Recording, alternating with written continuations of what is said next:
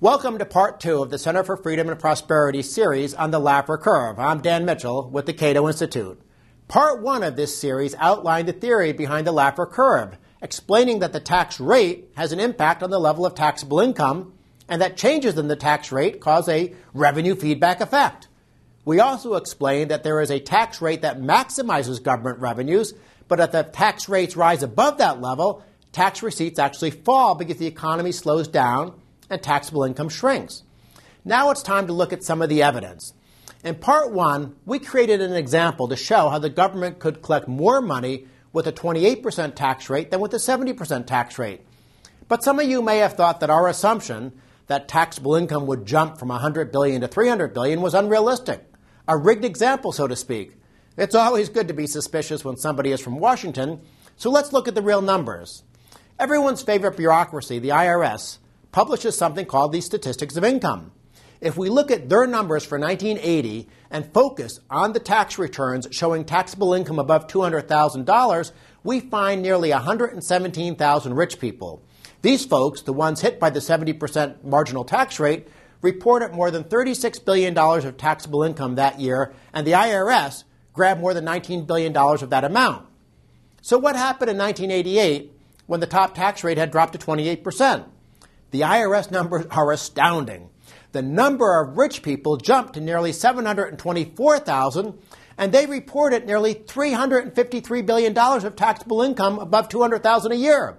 The government slice of that pie was more than $99 billion, five times as much revenue as was collected when the tax rate was 70%. You heard me right. The rich paid five times as much tax when the tax rate was slashed.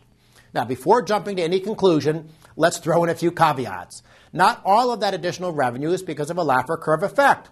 Population grew by about 7% during that period. We also had total inflation of about 44% during those eight years. And perhaps most important, even if Reagan hadn't reduced the tax rate, there would have been some increase in the number of rich people and the amount of income they reported. So, to be fair, Reagan's reduction in the top tax rate was not responsible for the rich paying five times as much. It may not have even been responsible for the rich paying three times as much. But can anyone doubt that there was a huge amount of revenue feedback and that this was one of those rare cases of a tax cut paying for itself? Heck, this was the Laffer curve on steroids. Let's look at a couple of other examples. Ireland used to have a 50% corporate tax rate. That corporate tax rate in 1985 collected tax revenues equal to 1.1% of GDP. By 2004, as the chart shows, the tax rate was all the way down to 12.5%, and revenues were 3.6% of GDP. And what's really amazing is that GDP was more than three times bigger, and that's after adjusting for inflation.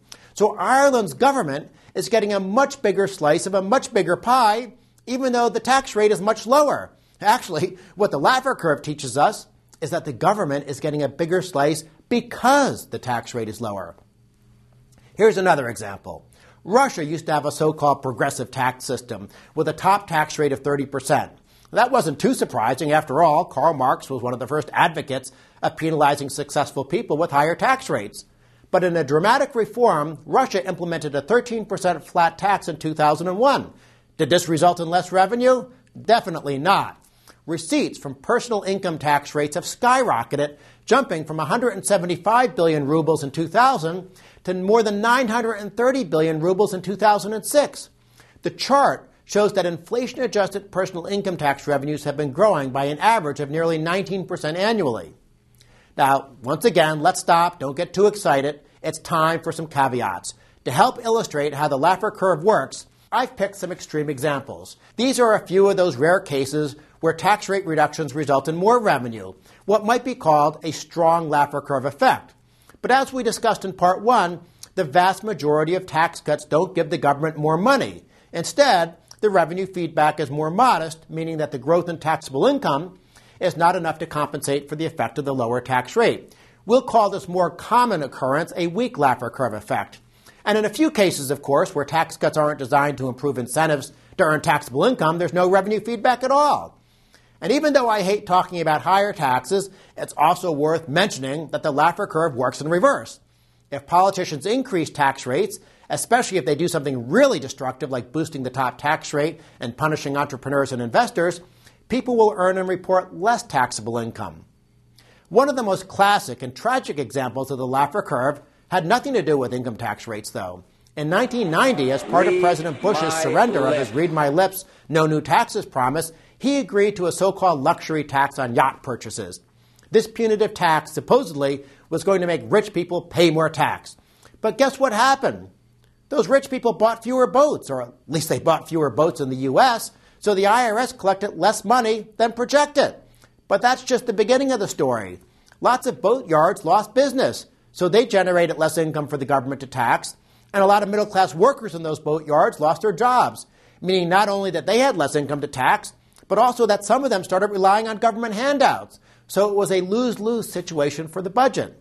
Now, disentangling all these different effects is not easy, but it's quite likely that the luxury tax was a net revenue loser for government, a reverse case of the strong Laffer curve effect. On that cheerful note, let's bring this to a close. The final video in this series will get you angry. We're going to discuss in part three the revenue estimating process for tax legislation. You will think I'm exaggerating, but you will learn that revenue estimators assume that tax policy changes, regardless of their magnitude, have no impact on the economy and no meaningful impact on taxable income. Even more disturbing, you will learn how this bizarre approach creates a bias for bad tax policy and higher tax rates. So if you want to get angry, watch part three. I'm Dan Mitchell, and I thank you for giving us some time. As always, please help the Center for Freedom and Prosperity educate America by circulating these videos.